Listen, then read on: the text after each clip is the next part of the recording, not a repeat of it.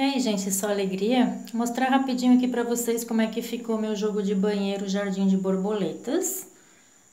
Eu acho que é esse o nome. É o jogo da Débora Tavares, tá, pessoal? Eu não sei se tem vídeo aula, eu fiz através da foto, né? A cliente mandou a foto, eu fiz através da foto. Então, eu fiz do meu jeito, né? Eu usei aqui, gente, o Barroco Decore Luxo Cor Pérola, esse aqui é barbante 8 da Euro Roma, o cru. Esse aqui é o azul candy barroco maxi color, gente, eu não sei, não lembro a numeração das cores, tá? Aqui a gente tem o Duna azul candy, o Duna turquesa, esse aqui é o verde folha, é tudo Duna, tá, pessoal? Eu usei aqui o rosa bailarina, as borboletas também, gente, eu fiz as borboletas do meu jeito, né? Com as pérolazinhas, só fiz maior.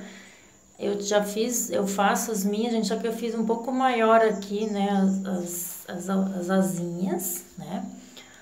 Os botões também, gente, os botões, se vocês procurar no YouTube botão de rosa, né? Vai ter lá, vai ter várias borboletas. Essa flor aqui, gente, é da Débora Tavares. Porém, eu fiz um pouco diferente, gente. Eu não faço aquela é, última carreira aqui, gente, né? Sei lá, eu não curto muito, tá? Eu também faço um pouco diferente aqui o meu miolinho, mas assim fica praticamente quase tudo igual. Então, eu tenho aqui, já falei as cores, gente, esse aqui é o rosa bailarina, esse aqui é um azul mesclado, esse aqui, o nome da cor é cor boneca, mas vocês podem usar qualquer um, né, para gastar fio. Eu tentei fazer o mais parecido possível com a foto, né? Já que é uma encomenda. E ele ficou assim. Ele não é difícil de fazer, né? Como eu disse, eu fiz através da foto. Porém, gente, fazer todas essas aplicações, a gente dá um trabalho. Eu não gosto muito porque a flor fica é, bem alta, né, pessoal? Mas, enfim, é uma encomenda, então essa flor aqui é maior, tá vendo? Ela tem uma camada mais de pétalas. O tapete também tá grande, né? O meu aqui ficou 90 por 50.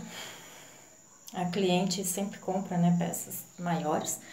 Meu pé do vaso eu fiz com os detalhezinhos, né, aqui, tudo bonito. E ficou assim.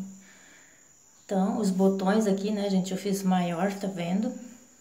Aqui eu fiz menorzinho pra tá certo, pra para encaixar aqui, né, dentro do espacinho. E ficou assim. Meu tampo, gente, eu faço os tampos grandes, tá? Mas dentro aqui, gente, ó, fica assim, ó, tá? O biquinho fica todo caidinho pros lados. Então, é isso. Passando rapidinho para mostrar.